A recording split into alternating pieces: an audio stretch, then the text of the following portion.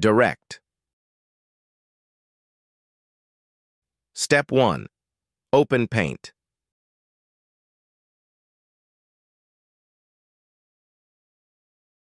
Step 2.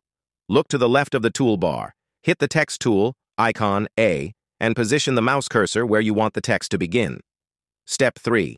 A window is going to appear that lets you pick the font, letter size, and so on. As you type, the words would be added accordingly. After you finish, click outside the text box to fix the text in place. Note, the words don't meet your standards, then you could use undo and try again. To do so, hit the curved arrow icon next to the save icon on the top left. Alternatively, you may press Ctrl Pause indirect. Step 1. Open Microsoft Word, enter the text, and align it using text alignment options.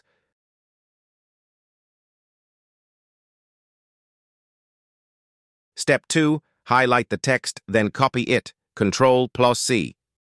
Step 3. Open Paint, create a text box and paste the text, Ctrl plus V.